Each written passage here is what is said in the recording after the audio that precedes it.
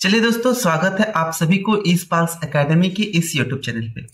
चलिए, आज हम पढ़ेंगे internal structure of the earth के बारे में। हम लोग बहुत सारी चीज़ देख लिए एक्सटर्नल बाहर विंड कैसे बह रहे हैं। हमने ये भी देख लिया कहाँ पे कंटिनेंट्स हैं, क्या लोकेशन है लैटिट्यूड्स लॉन्गिट्यूड्स बट अभी तक हम लोग अर्थ के अंदर हम लोग नहीं घुसे हैं। चलिए यूनिवर्स तो देख लिए, अभी हम लोग देखते हैं अपना अर्थ के बारे में। सो दिस इज़ अवर अर्थ ठीक है? थोड़ा सा गोल टेढ़ा हो रहा है, उसके लिए माफ़ी। So this is our earth bulgy रहता है इक्वेटर में एंड उसका डायमीटर थोड़ा सा कम रहेगा आपका पोल्स की तरफ़। ठीक है?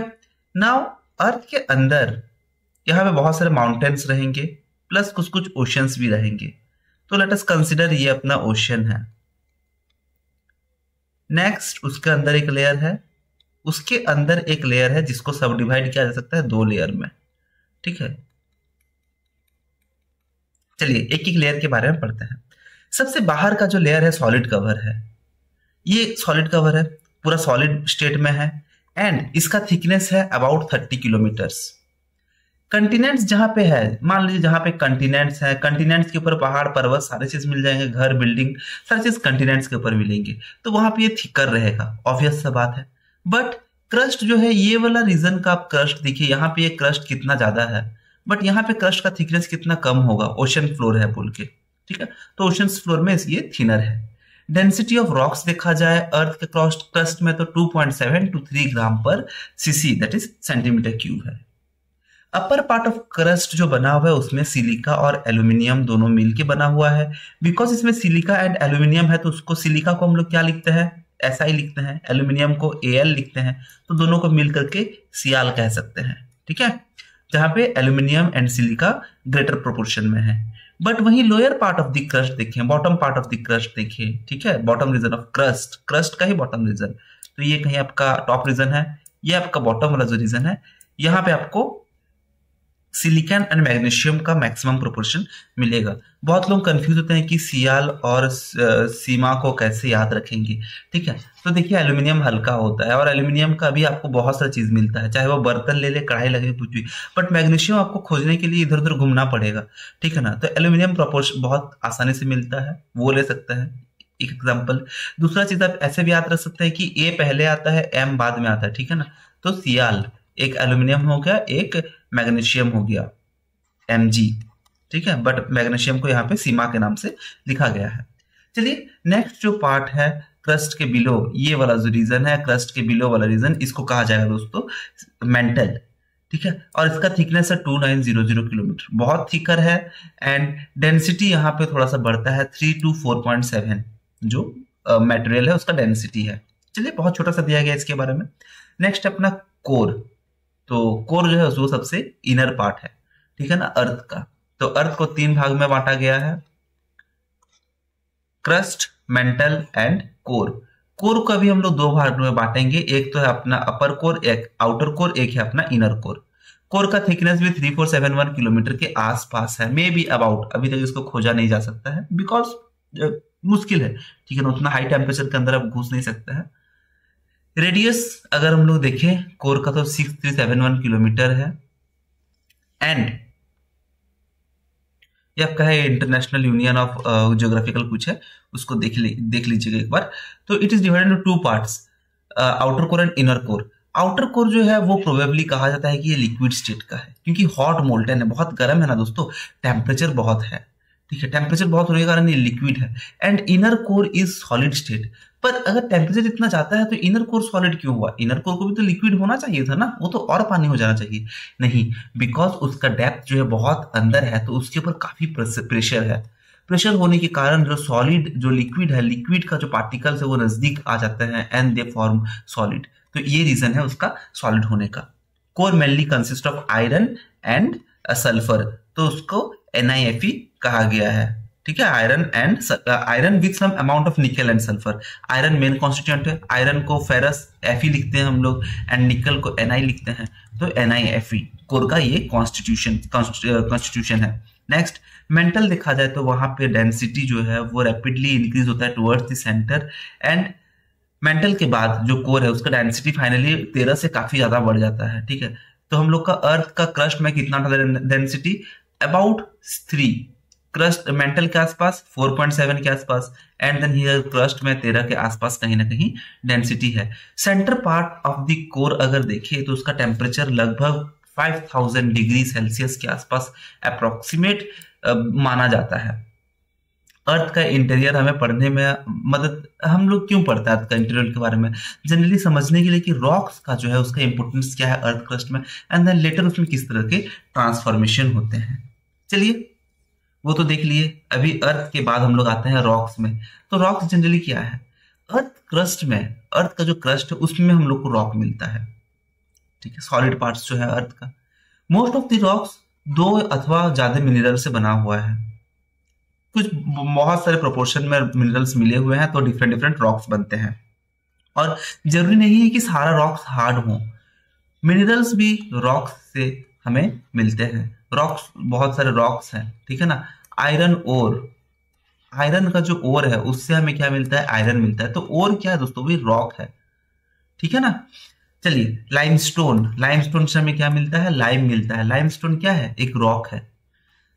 अभी पढ़ते हैं हम लोग तीन डिफरेंट बहुत इंपॉर्टेंट टाइप्स ऑफ़ रॉक्स हैं। Igneous rock sedimentary rock and metamorphic rock igneous बहुत गर्म है, ठीक है ना? इग्नियस रॉक्स तो इग्नियस रॉक्स जनरली कहाँ आते हैं? जब भी वॉल्केनिक इरप्शन होता है, मान लीजिए वॉल्केनिक इरप्शन हुआ है तो वॉल्केनिक इरप्शन होने के बाद कुछ रॉक्स मतलब अर्थ का जो मागमा है, जो मोल्टन मटेरियल है, वो बाहर की ओर बहता है। बाहर की ओर बहने के बाद वो ठंडा हो जाता है एंड देन फॉर्मेशन होता है रॉक्स का। ठीक है? तो ये जो मटेरियल वो मागमा बह के आके cool down beneath the earth crust again forming rocks तो कुछ कुछ इग्नियस रॉक्स के भी दो टाइप्स हम लोग इसको क्लासिफाई कर सकते हैं। ठीक है? इसको हम लोग पढ़ेंगे। अर्थ का सरफेस क्या है? पहले अगर हम लोग देखा जाए तो पहले अर्थ का सरफेस पूरा वाटर था लिक्विड था। सबसे पहले जब लाइफ एग्जिस्ट नहीं कर रहा था अर्थ क्या था? लिक्विड था। देन उसमें बारिश हुआ, बारिश होने के बाद वो ठंडा हुआ। पहले वो जलता हुआ, वो गोला था। हॉट लिक्विड स्टेट में था। जलता हुआ गोला था अर्थ देन धीरे धीरे बारिश हुआ। बारिश होने के बाद देन बैक्टीरिया फॉर्मेशन हुआ एल्गी फॉर्मेशन हुआ। वो सब उसके बाद फिर लाइफ सस्टेन हुआ।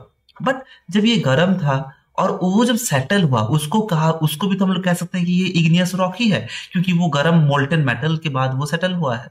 ठीक है? यस राइट right, वो भी इग्नियस रॉक है बट किस प्रकार के? प्राइमरी इग्नियस रॉक है। और ये आज हमको नहीं मिल सकता है क्योंकि आज उसके बाद बहुत सारे मेटामॉर्फोसिस हुए बहुत सारे चेंजेस हुए और आज हमको प्राइमरी इग्नियस रॉक नहीं मिल सकता है। इग्नियस रॉक अगर देखा जाए तो वो हार्डर रहते हैं एंड ग्रेनुलर रहते हैं ग्रेन्स रहते हैं उसमें, ठीक है? बट इसमें कोई लेयर्स नहीं रहते हैं। ये चीज़ आपका आ सकता है एमसीक्यू में। Sedimentary rocks classification sedimentary rocks की प्रॉपर्टीज़ या फिर इग्नियस रॉक की प्रॉपर्टीज़ जानना बहुत ज़रूरी है। प्लस इसमें फॉसिल्स नहीं मिलेंगे। फॉसिल मीन्स मान लीजिए एक कॉकरोच है। कॉकरोच मर जाता है। मर जाने के बाद हाई प्रेशर आया, बालू बालू में वो दब किया है, बालू के अंदर दब करके कॉकरोच का तो बॉडी डिके हो जाता है बट ये हाई प्रेशर के कारण यहाँ पे कॉकरोच का एक कैविटी बन जाता है, ठीक है? उसी छाप का एक ढांचा बन जाता है, जिसको हम लोग फॉसिल कहते हैं। तो the remains remains of the animals जिनकी वजह से वो आर्किटेक्चर वो बन जाता है। वो बहुत सारी जगह में आप देखे होंगे, कुछ कीड़े मकोड़े का, बिच्छू उच्छू का भी मिलता है इस तरह का पत्थर में, ठीक है? तो ये सारे क्या है? फॉसिल्स हैं। तो इग्नियस रॉक में एक तो पहला चीज़ दोस्तों, ये कब होता है? जब आपका बहुत दिन तक वो बॉडी ऐसे रहेगा तो धीरे धीरे वो डिके होता है, ये पत्थर बन जाता है, तब होता है। बट इग्नियस रॉक तो एक तो पहले गर्म है इतना। वो गर्म इतना ही वो लोहा को पिघला दे, अब कोई कीड़ा आएगा उसके अंदर तो वो वहाँ पे रहेगा ही कैसे? वो तो वहीं पे भाप बन जाएगा। वो रहेगा तभी ना ढांचा बनेगा। ठीक है? तो इसीलिए वहाँ पे कोई फॉसिल नहीं बन पाता है। इग्नियस रॉक दो प्रकार के हैं। एक तो वो अंदर रह सकते हैं या फिर सरफेस ऑफ़ अर्थ में रह सकते हैं, जैसे कि हम लोग पढ़े हैं। जो मान लीजिए एक ये मेरा वॉल्केनो इरप्शन होने वाला है अभी। यहाँ पे मेरा वॉल्केनो रास्ता बना रहा है धीरे धीरे बाहर निकलने की ओर। बट ये निकल नहीं पाया। या फिर ये पोर्शन निकला बट और एक रास्ते बना था छोटा वाला ये निकल नहीं पाया। ये निकल नहीं पाया, यहाँ पे ठंडा हो गया। तो ये क्या बन जाता है? ये इंक्लूसिव इग्नियस रॉक है। एग्जाम्पल्स ग्रेनाइट एंड गैब्रो और ये क्रिस्टलाइन फॉर्म्स के रॉक रहते हैं। ठीक है?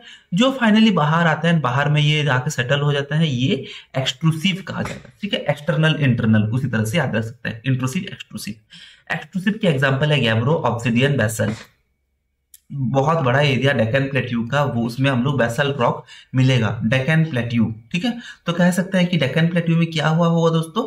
डेकन प्लेट्यू में श्योर अपना वॉल्केनो हुआ होगा। वरना हमको बेसल रॉक जो कि एक एक्सक्लूसिव इग्नियस रॉक है, ये हमको नहीं मिलता। वॉल्केनिक इरप्शन हुआ था कभी, जबकि वो बहता बहता वो सेटल हो गया। सेटल होने के बाद वो इग्नियस रॉक बन गया है। ठीक है बेसल रॉक बन गया। और इनमें क्या कंस्टिट्यूएंट रहता है? 40 टू 80 परसेंट इनमें आपको मिल जाएगा silica and next felspar magnesium iron जैसे मिनरल भी मिलते हैं। एग्जाम्पल्स लाइक ग्रेनाइट क्यूमिक स्टोन बैसाल्ट गैब्रो ये सारे इग्नियस रॉक के एग्ज़ाम्पल हैं। ग्रेनाइट, जो भी पत्थर है यहाँ पे, कभी ना तो कभी कोई स्टेट में उनका चेंज होता है। जैसे इंसान धीरे धीरे होकर बड़ा होकर बूढ़ा होता है, उसी प्रकार ग्रेनाइट एक पत्थर है इग्नियस रॉकेट ठंडा हुआ। देन धीरे धीरे by huge external pressure and temperature ये याद रखिए। प्रेशर और टेम्परेचर की वजह से क्या होता है, ये कभी कभार धीरे धीरे धीरे धीरे वो नाइस बन जाता है। नीस ठीक है?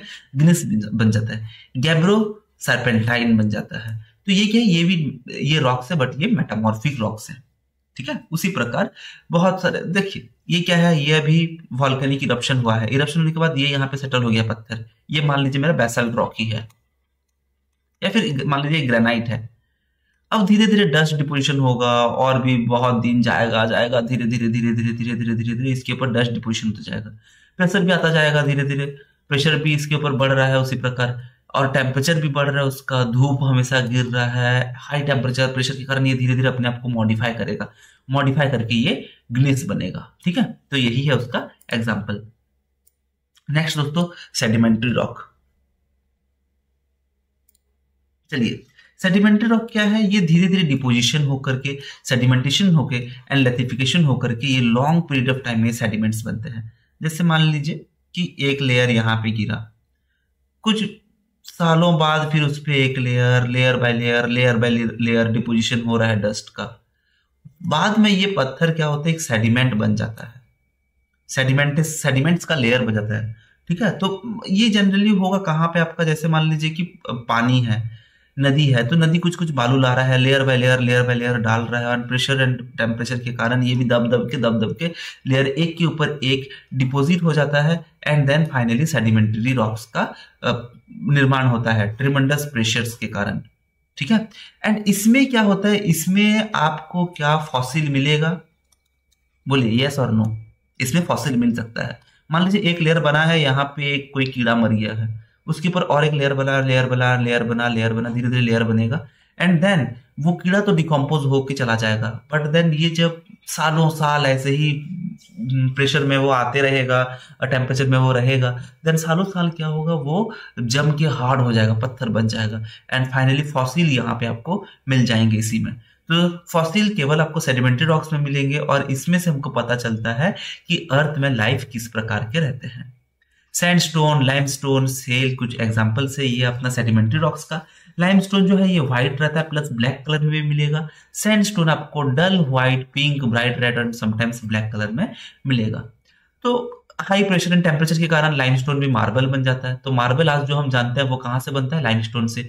सैंडस्टोन से अपना क्वार्टजाइट बनता है। सेल और क्ले से हमको स्लेट, फाइलाइट, सिस्ट मिलता है एंड कोल से फाइनली डायमंड बनता है, ठीक है? तो कोयला था अभी भी अगर आप कोयला है तो आप मेहनत करिए, आप भी डायमंड बनेंगे, ठीक है? तो उसके लिए प्रेशर चाहिए, उसके लिए टेम्परेचर चाहिए। ये नहीं गर्मी में जाकर बैठ जाए धूप में, उसमें नहीं, काम करके, ठीक है? पढ़ाई करके। Next metamorphic rocks metamorphic rock वो है जो igneous rock and sedimentary rock से बनते हैं। High pressure and temperature tremendous high pressure and temperature से ये ट्रांसफॉर्म रॉक्स बनते हैं, इनको मेटामॉर्फिक रॉक कहा गया है।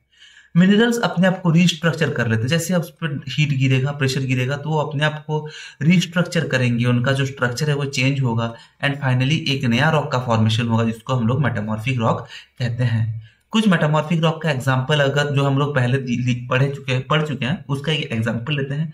इग्नियस ग्रेनाइट से नाइस बनेगा बैसल से हमको होम ब्लैंड मिलेगा। सेडिमेंट्री रॉक वाला लाइमस्टोन से मार्बल मिलेगा कोल से ग्राफाइट कोल मिलेगा फाइनली हमको डायमंड भी मिलेगा, ठीक है? एंड देन सैंडस्टोन से क्वार्जाइट मिलेगा सेल और क्ले से स्लेट माइका सिस्ट मिलेगा। ठीक है दोस्तों? चलिए आज के लिए इतना ही। मिलते हैं हम लोग नेक्स्ट क्लास में। तब तक आप इसको ज़रूर रिवाइज करिए, पढ़िए अच्छा से। ऑल द बेस्ट चलिए बाय थैंक यू